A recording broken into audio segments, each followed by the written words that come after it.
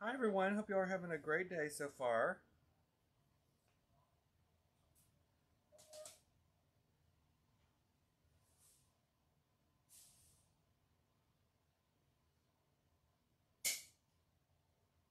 There you go.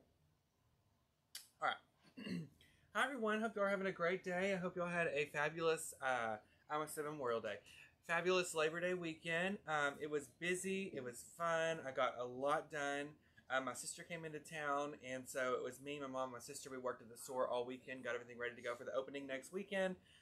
Um, and so I'm gra- so grateful for their help because I could have done it without it. My mom's husband, he was a big help too. He did a whole bunch of stuff for me, and so we all we did was work, eat, eat, and eat again. Okay, Josh made a fabulous brisket. We ate that for two days. Um, we had Chinese food one night, um, and we just drank wine, hung out, had a great time. Even though we were working, we got home, um, and it was great. So I hope y'all spent a fabulous time with your family. Whether you went to the lake, I know it's like end of summer, or whether you were on vacation, or whether you stayed at home and watched movies. It was raining in your area. It came a bad thunderstorm at my house last night. Did you get rain? Mm-mm. Oh yeah, it was like for a good two hours. It was flooding and thundering, and it never thunders. Um, so I love that. But anyway, we just been working, honey, getting everything ready to go. The fourth quarter is here basically, and uh, I'm excited. I'm excited for Christmas time. I'm excited for cool weather. I'm excited for fall and Halloween, um, and I can't wait. So today we're gonna do bow tying. you know, here's why I wanted to do bow tying again. It's because holidays are coming up in the fourth quarter, and there's so many different things that you can use ribbon for, and by putting ribbon on something and embellishing it with that, it completely makes it different and, and transforms it, and it's easy and simple and um, the best thing is that ribbon is pretty inexpensive depending on which kind you buy. And it's all on sale, and you can get all kinds of ribbon at ellishomeandgarden.com. And in store, they have all kinds of ribbon. And if you go through and look at the vignettes that they set up, the purpose of those is to show you um, how you can display the products that they have for sale, whether it's ribbon or tabletop decor, in your actual home. So it gives you inspiration and ideas um, to inspire you to go home and do it at your own home. So hopefully this video helps you. Of all the videos I've ever done, whether it's here or whether it's on my personal page, Designs by Dylan, the ones that I get um, notes from or messages about or comments about, um, it's always bow tying just because um, it's something that people want to learn how to do. They're intimidated by it, but I'm going to show you some easy, different techniques that you can use to create fabulous bows. And I'm going to talk to you about ribbon selection, color selection, and how you can put all those things together to get the perfect bow. Okay? So sit back, honey, relax, get yourself a cup of coffee or a drink, okay? Nobody's saying. Um, but I have a question for all of y'all, and y'all tell me because I need a little help, okay? Listen, Linda, I got new insurance. I have a doctor's appointment today at one, at two, two o'clock. It's been like ten days ago that I got the insurance, and they told me within ten business days you're going to get your insurance card in the mail. So guess what? I have a thing I'm signed up for from USPS, so I can see what's in my mailbox every day and it's in the mailbox today, but my mail doesn't run at my house till 5 o'clock, and my appointment's at 2. You think if I call the insurance company, they'll send me an email when I can print out? Y'all think that? I hope so, because I'm going to the doctor regardless. They'll have to bill me or something.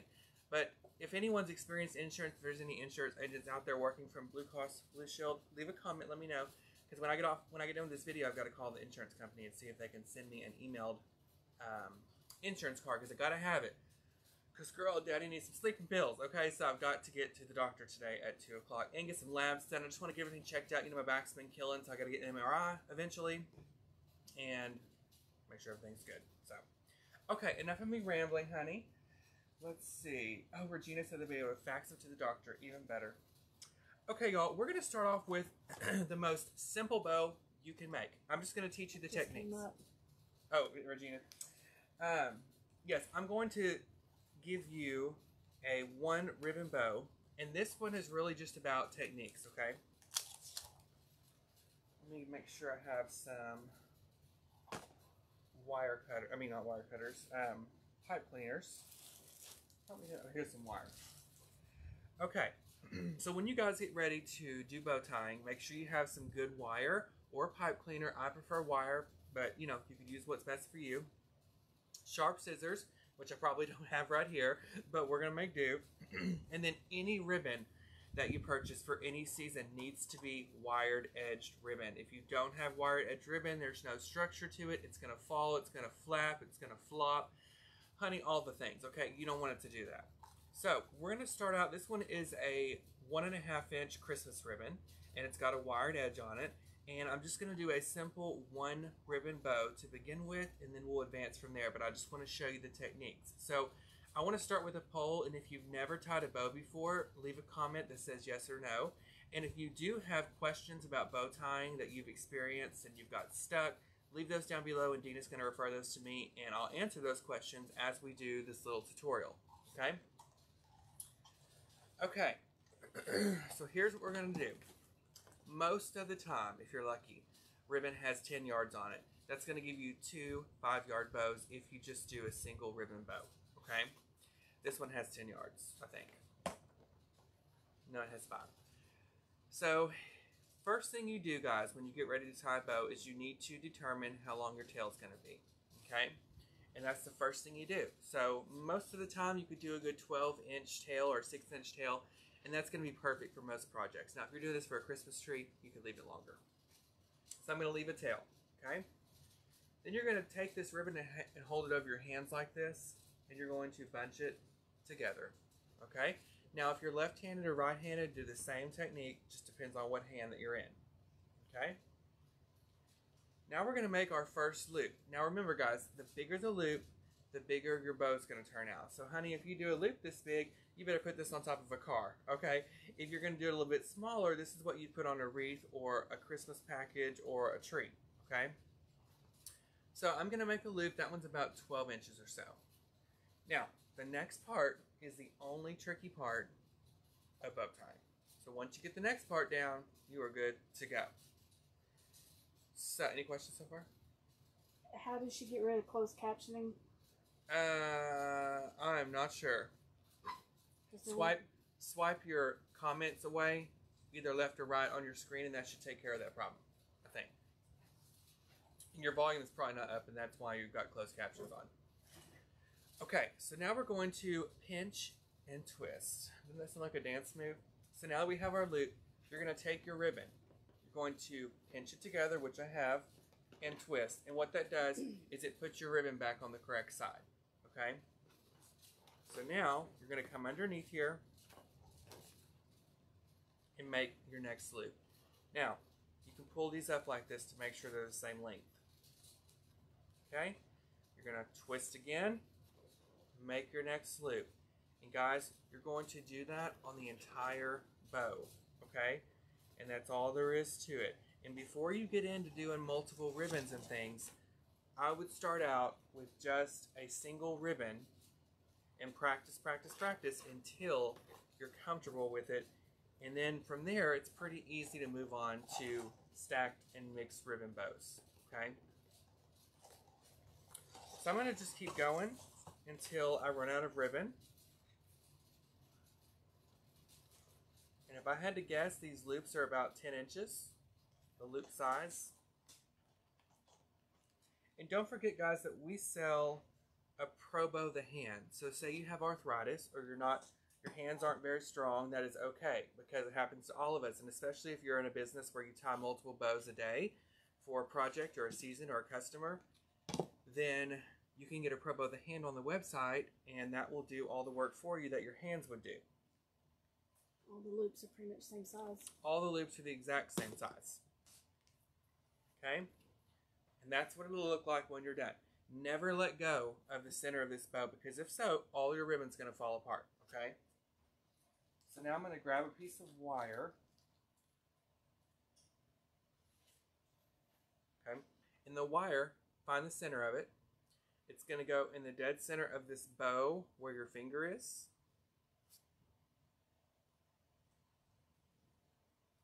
You're going to tie this off as tight as you can to hold everything in place, just like you were tying off, you know, a loaf of bread or something on the end.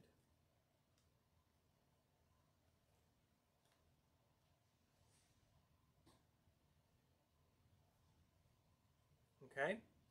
And once you get it tied, you're good to go. So grasp the center of your bow, okay? And then you're going to alternate your loops. Regina says hello. Hey, Regina. Um, we're going to alternate our loops.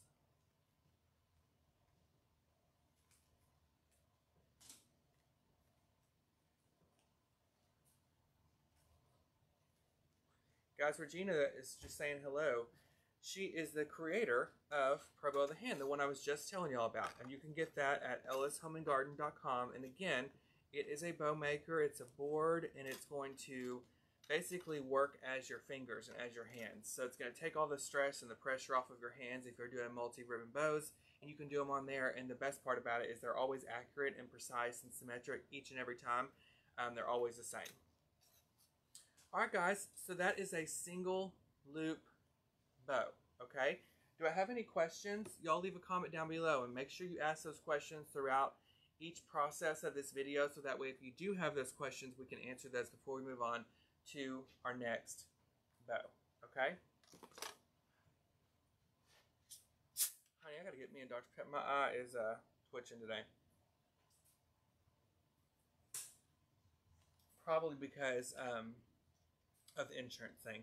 okay, I'm stressed out about that. And then, y'all, once you have your bow done, you have this pipe cleaner or wire in this case, and that's what you use to attach it to whatever it is that you want to attach it to. Okay? So let's set her to the side, and girl, let's move on to something a little bit more complicated, okay? So, for our next project, we're going to do a couple stacked bows. Now, don't let these freak you out, okay? All you're doing is using multiple ribbons, but you're using the same technique, okay? I'm going to show you a couple different options or uh, ways that I time, okay? But first, let's catch up, okay? Because I haven't talked to y'all in a minute, and I've been watching some movies. You have Netflix, right? Mm-hmm. Okay, y'all have got to get on Netflix and watch The Devil in Ohio. Have you seen about it? Mm-mm. It's about a satanic cult. So good. I love anything to do with the cult. Okay, I don't want to be in one. I don't want to be by one, but I want to hear about one. And it was really, really good. So we watched The Devil in Ohio this weekend. It's eight episodes on Netflix. We watched um, this movie called Us. It was a scary movie. It was so good. And we watched House of Dragons. Is anybody watching that? The Game of Thrones prequel or whatever. And that might be it. That might be it. Oh, and we watched House of Hammer. Have you seen the previews for that? You know Armie Hammer is? Mm-hmm. You know, well, he's like a cannibal. Yeah. Okay, so House of Hammer, guys. Armie Hammer's an actor, and all this stuff came out about him, like liking all this crazy stuff where he ties people up, and you know, he eats. Uh, I mean, he wants to be a cannibal.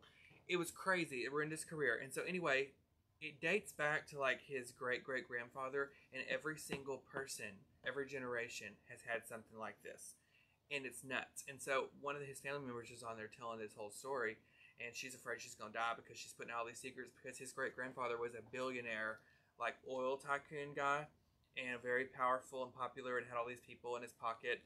Uh, but it was very good. It's on Discovery Plus. It's called House of Hammer. So if y'all look, love a documentary like I do, especially some weird ones, check it out because my mouth was on the floor the whole time. Did you get Josh to watch Officer and Gentleman? No, y'all, I haven't watched Officer and Gentleman yet, but he said he would. So we just haven't had time because I was working all weekend and the only reason we started Devil in Ohio is because my mom and sister were over, and I was trying to think what is something that I could put on that they would like, and we could like watch watch together, and so we all liked it. But uh, I can't have people over at my house when I'm watching that. I got to be focused and you know in the zone, which will be tonight because um, Josh is tired. So when he's tired like that, y'all use that to my advantage and like get what I want. So I'm like, oh well, if you get tired, take a nap, and so I'll I'll watch it. So yes, hopefully tonight.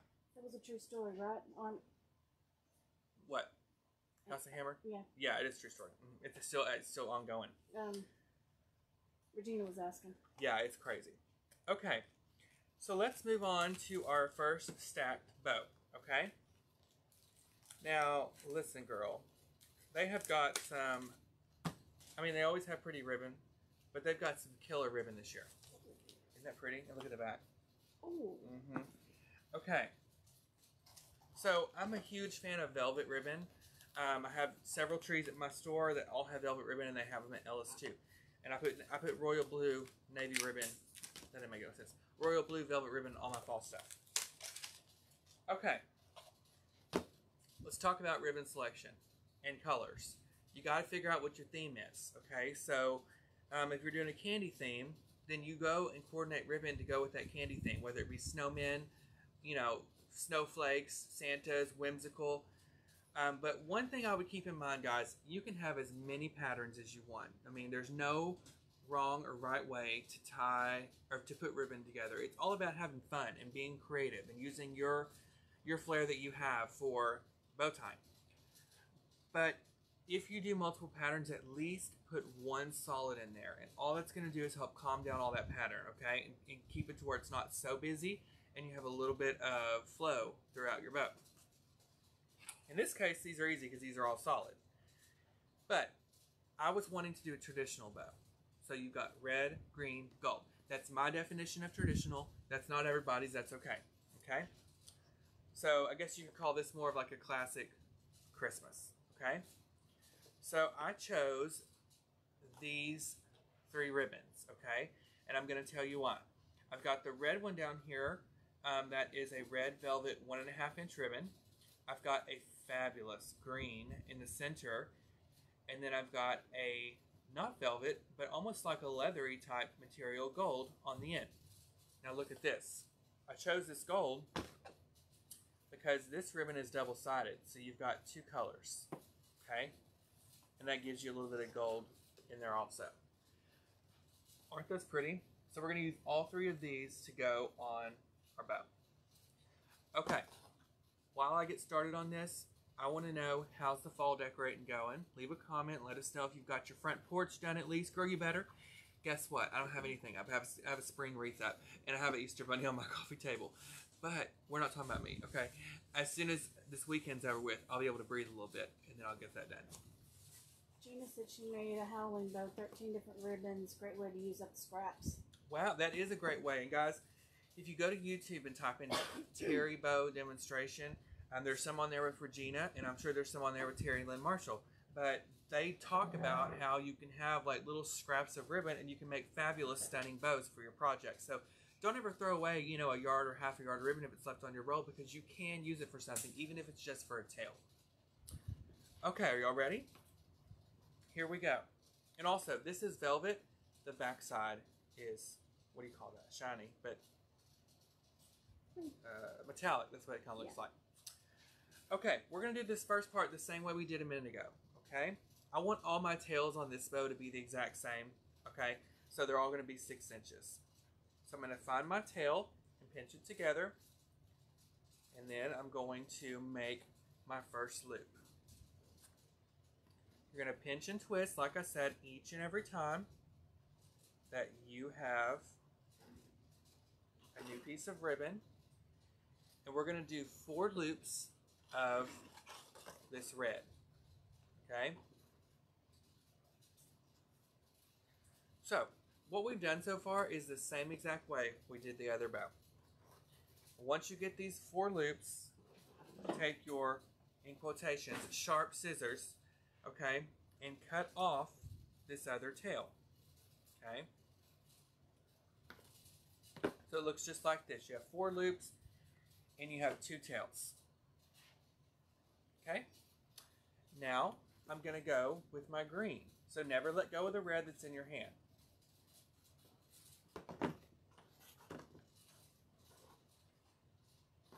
Okay. Let me get this ready to go.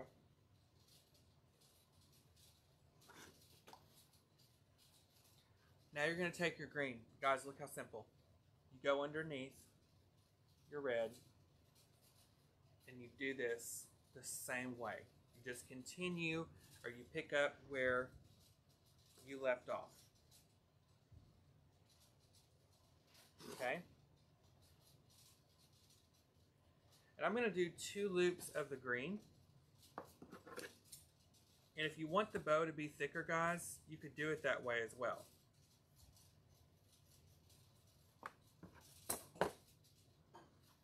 Okay? So this is what you have now. And then we're going to finish off with our gold.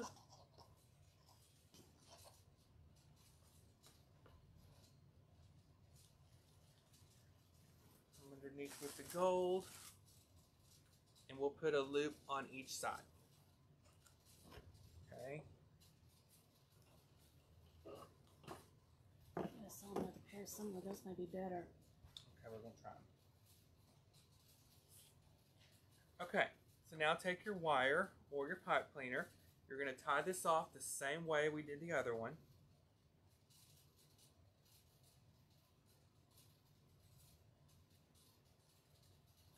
I prefer using a little bit of a thicker wire, guys, because it's easier to hold on to. If you get really thin wire, it's a pain. And one wire that I hate is that kind that's coiled up together. Oh, Lord. Yes, those are hundred times better. Okay, let me make sure this is all tied together. Okay. So you see, guys, we haven't fluffed this out, but you've got all those ribbons. You have four loops of red, two loops of green, two loops of gold, which makes this a four, six, eight loop bow. But you also have all those tails in there that are going to resemble your loops, okay? You can replicate this on the Pro Bow. For about this size, I'd probably do row D or E on your on your bow maker. Okay. I'm going to just alternate my tails and my loops and be patient with yourself, okay?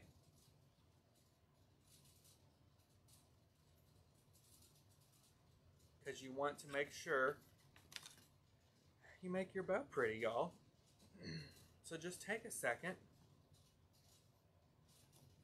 And when I do Christmas tree bows, this is the type of bow that I put on the Christmas tree.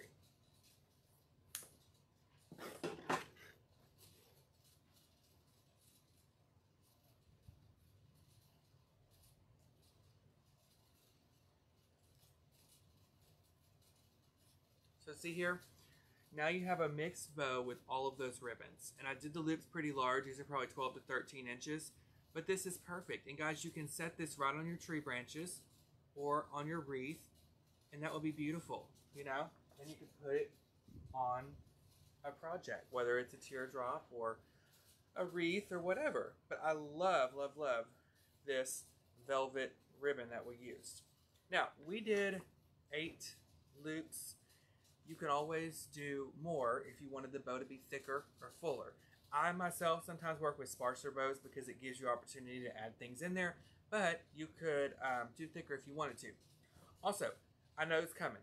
You don't have to do an odd number on ribbon, okay? I did eight loops, and here's why.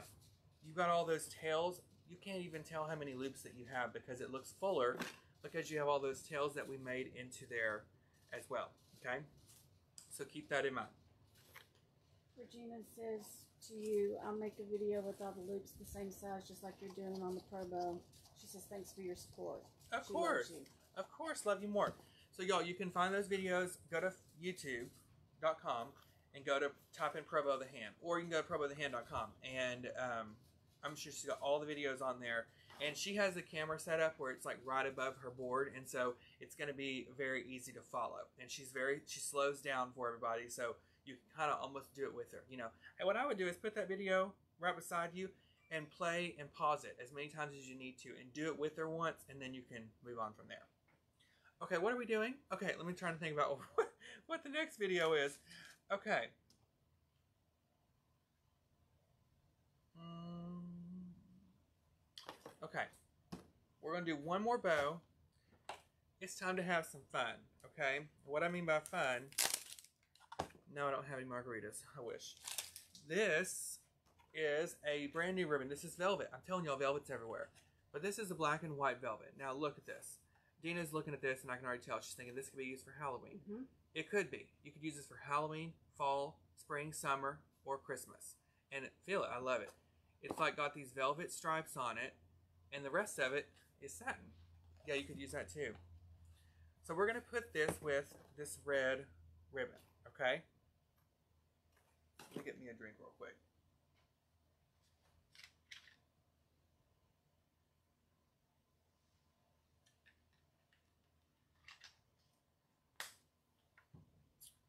Okay. So what we're gonna do is we're gonna alternate, okay? Start the same way. Let's do our um, red to begin with, six inch tail.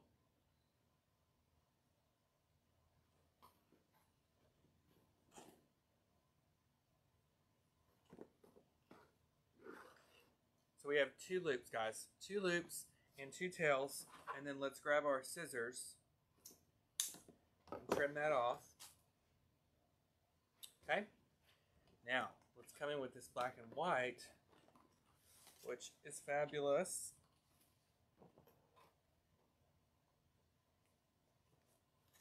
Come underneath it just like we did before.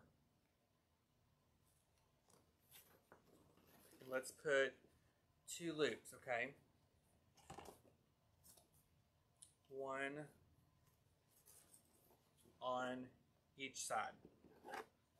Once you have that, cut your ribbon. Y'all, we're just alternating. Woo. okay, so now go back with your red.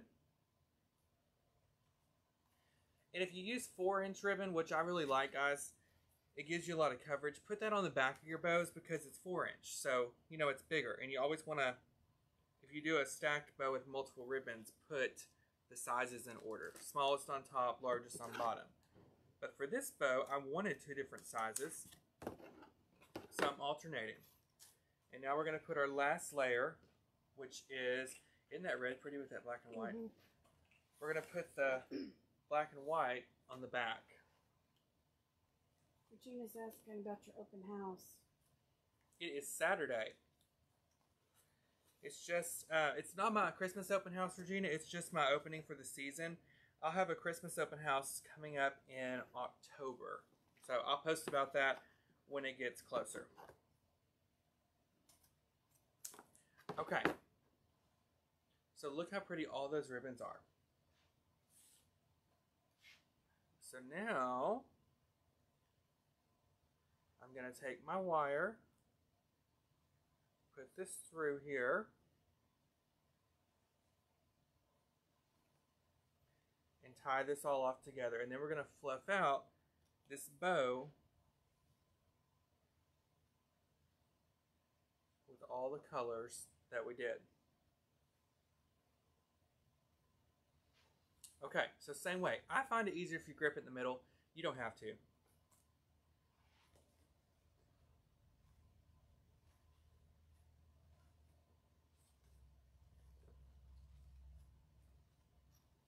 Y'all, I'm going to have to buy me some of this black ribbon. Because I love the velvet that's in there.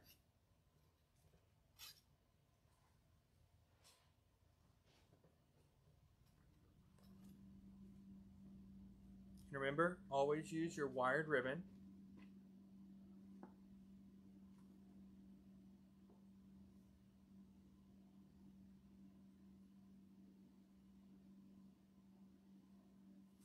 Guys, look. Isn't that black and white so pretty? And again, you could even, if you had orange ribbon, mix it with that black and white. It's perfect for Halloween, you know? I love this though. So, there's three different examples for y'all on bows, okay?